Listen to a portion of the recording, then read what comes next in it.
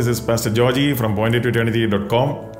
And today I want to bring a quick update to you regarding the current situation in Afghanistan and how it's all connected with uh, Bible prophecy.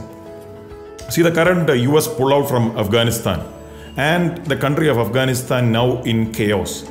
I'm not mentioning the plight of the Afghan people in this episode.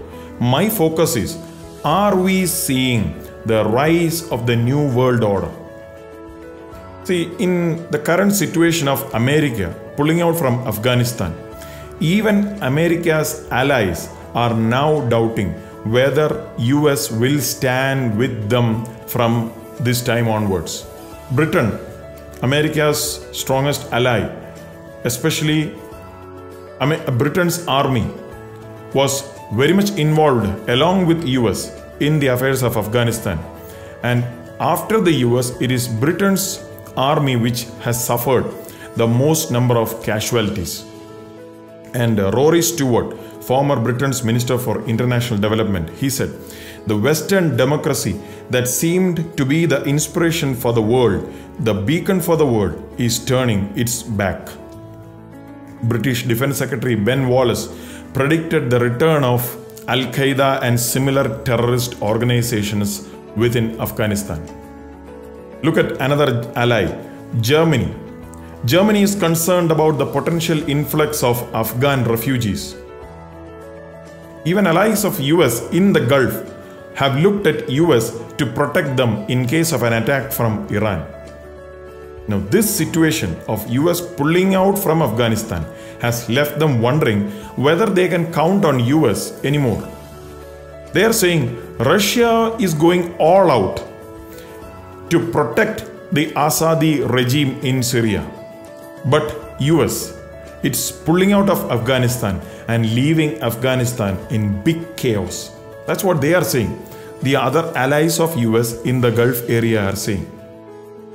Now, let me ask you which country is America's greatest and strongest ally in the Middle East?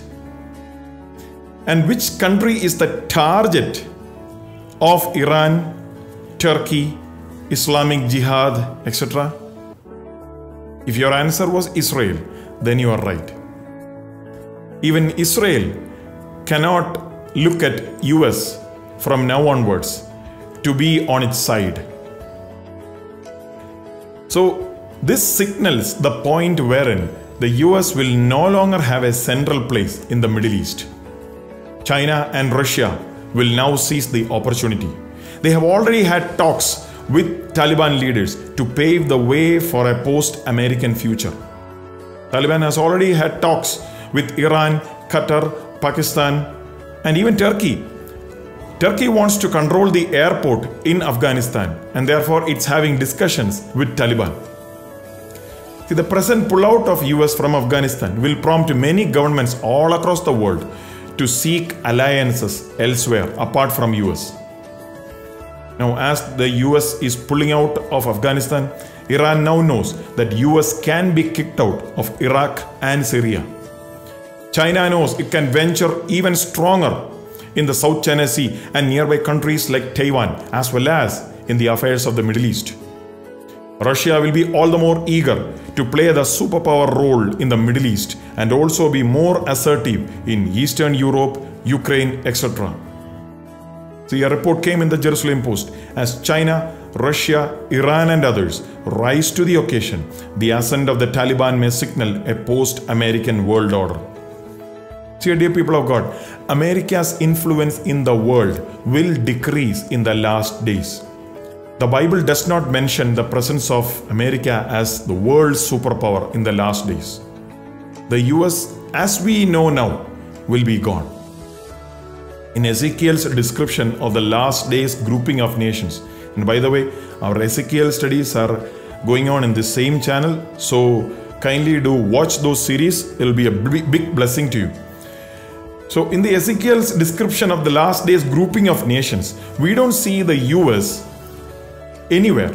And also in the book of Revelation, where we see the world powers battling against each other and finally against the uh, armies of Jesus Christ, we don't see the US anywhere. Now, are we seeing the beginning of the end? Are we seeing, along with this event of America pulling out, are we seeing the rise of the post American world order? Or more correctly, the new world order without America in prominence? Dear people, if you are not a child of God through Jesus Christ, then you are going to worry in the times to come. But if you are a son or daughter of God through the blood of Jesus Christ, if you are born again, if you are saved, if you are living close to the Lord, then you should be excited because Jesus is coming very soon to take his true church in the rapture. So pray, be watchful. If you are not yet committed to Jesus Christ, now is the time. Now is the time. It's not late yet. Would you commit your life to live under the Lordship of Jesus by making Him your Lord and Savior? To obey Jesus in all His ways. Read the Bible, pray, and let's all prayerfully watch for the coming of Jesus.